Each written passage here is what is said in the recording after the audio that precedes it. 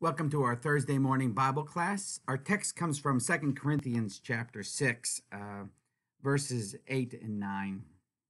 Paul's in a bit of a listing mood in this part of our text.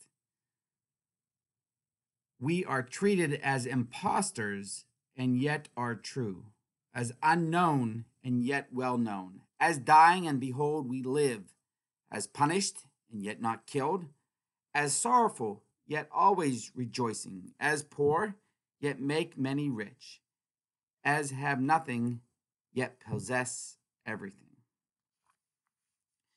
Um, this idea at the beginning too, it says we're treated as imposters and yet and yet are true. That even though the world thinks they're imposters, that they know that they are true to the word of God, to Christ Jesus, to the message of Him. And I was looking up something here today, and there's an article written that is very interesting to me. It said the quote, the title of the article is Humans are hardwired to, to dismiss facts that don't fit with their worldview. Now, as a theologian, I wouldn't call it hardwired. I would call it it's the effect of sin in our life. That that sin corrupts our ability to know as well as to feel.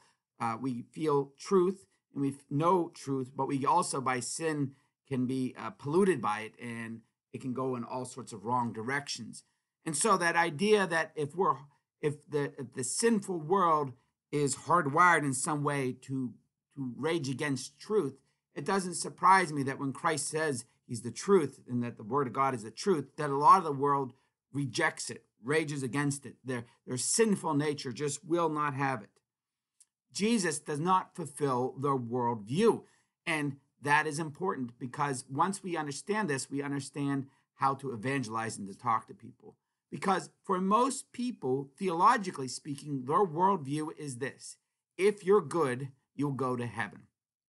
Or no matter what, you will die and just cease to be. Those are the two main worldviews. And Christ doesn't say either of those two things. You, when you die, you do not cease to exist. You will exist in eternity as well. And the other one is God's not interested in how good you are. You're not good enough. That the world, the Christian worldview, the biblical worldview is because what Christ has done for you on the cross.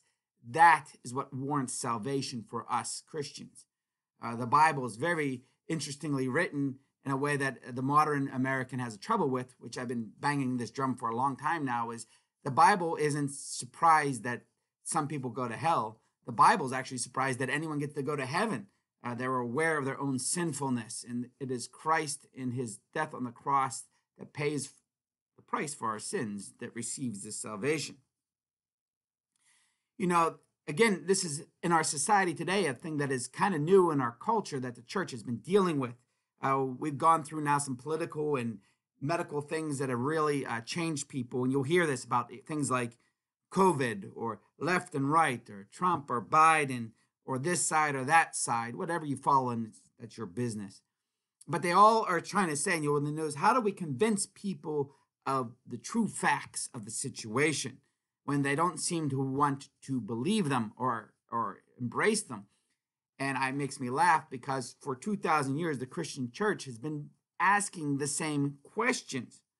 How do we get people to uh, embrace the truth of Christ, the Savior, who died on the cross for the sins of the world, who rose from the grave victorious, and where our hope now lies. It's been a con a, a not conflict, a, a project we've been doing for 2,000 years. So we're nothing new to this, but our society is really grappling with this right now. And and I love how Paul here says kind of the kind of how we do truth. I, I underlined uh, yet are true, yet well known. We live, yet not killed, always rejoicing, making many rich, and possessing everything. In a sense, it's our lives and our confession that will determine and show the world truth. I'm not a big arguer on this. I don't know if I can argue anyone into heaven. However, when people see the truth, they see it in the word of God, when they see it in Christ, and they see it in the actions of the Christian and how we live, I think that ultimately will be what shows the world uh, what is true and what is false. May the certainty of Christ is the truth be in your hearts always. Let us pray.